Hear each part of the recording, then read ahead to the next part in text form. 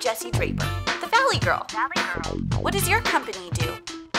Have you ever Googled yourself? Totally. What makes a great entrepreneur? What's your next big idea? Tweeting's like my favorite. Let's talk business. I'm like the Valley Girl. The WPP Group is one of the world's leading advertising companies and communication services.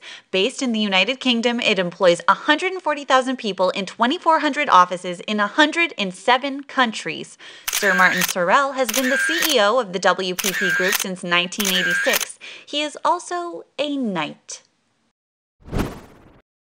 Well, welcome, Sir Martin. How yeah, are you this is doing? This is a first. I'm absolutely fine. Well, I thought I was fine until I came onto the set.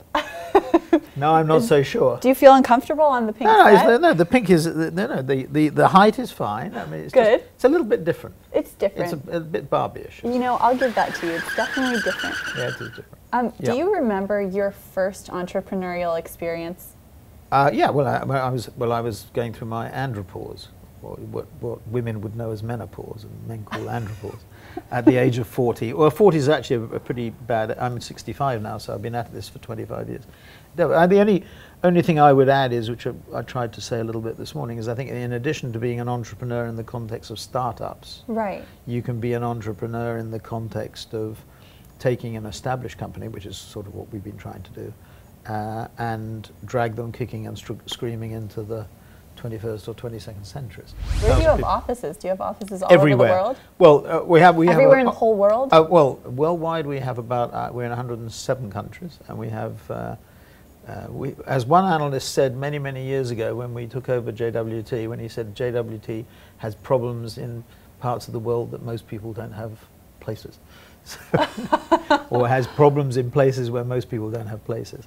So um, no, we, we're, wide, widespread, but the clients that we work with are the big global companies, so Ford, Procter and Gamble, Unilever, Okay. Johnson and Johnson, Microsoft would be our top five, and then we work with the big regional companies, and then we work with the with the companies as in India, which are companies like Tata, like Infosys, like the two Ambani companies, the two Re- Reliance companies. These are companies that are you know uh, Anand Mahindra's companies. Uh, these are companies that are, are rapidly becoming some of the biggest companies in the world, not just in uh, India and Asia, but elsewhere. You know, Tata owns uh, Tetley Tea, Corus Steel, Jaguar Land Rover. So these companies are becoming very important. Um, I have a question for Right. you. I would like to hear the story of your knighthood.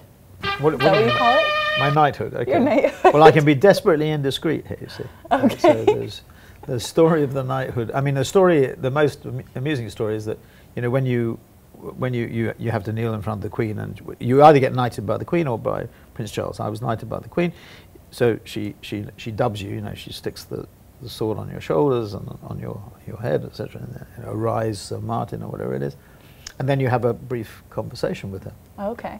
and she is meant to be exceedingly well briefed. Well, there, there was something sort of a little bit of a disconnect with me. I don't know what, what it was. Um, but she said to me, um, Are you still. So I just, you know, it was, it was a wonderful day, and you, you go for the day, and your family goes, etc. And she said to me, um, You know, are you still involved in the business? So I was a little bit taken aback by that. And I said, Well, ma'am, um, uh, I, I am, unless you know something that I don't know. and immediately the hand shot out, the hand being, thank you, thank you, that's the end of that. Tell me something about yourself that nobody knows. Well, it, it, if that would destroy the point. Well, I, I said, no, not nobody knows. A few people know. My, my, the, my, I'm a second generation immigrant. So, so my, my grandparents came from Kiev, Oh, Ukrainian, right? Wow, I've been to Kiev. I am closer to, you know, 23andMe, uh, you know, that spit analysis that you do. oh, Uh, Esther Dyson is on our board, who's quite a well-known internet entrepreneur, and she was mortified to find out that I was closer to Sergey Brin than she was. She was, she was, uh, she's also Russian, Russian origins or Ukraine. I don't think she's Ukrainian. I think she's Russian.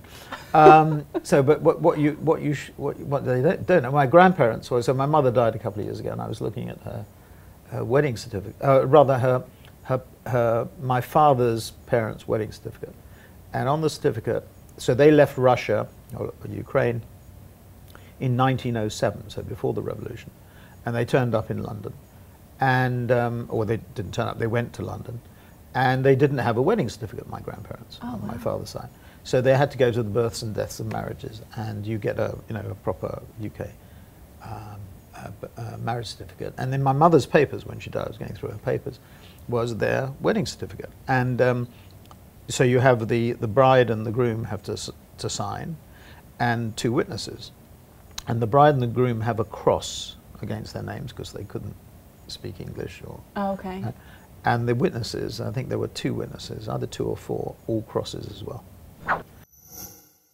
I have a little tie challenge This is the for you. this is the challenge. Yes, this, This is extremely boring too. Are I'm you not going to do the dancing. I'm going to watch you do the dancing, and ask my wife Chris to come and do the dancing. She's much better at dancing than me. So I can do anything with this, can I? How fast can you tie that tie? How are you going to time? When do when, when do we start? Ready, set, go. Oh, this is this is this may be the fastest. Yeah. This is going pretty fast. Is that okay? This is Does that qualify? High five. Great, great tie tying. I don't know about that. I don't think this would make this wouldn't make the Cannes Film Festival. I'm like the Valley Girl. And I'm like St Martin, and I feel an absolute berk saying that.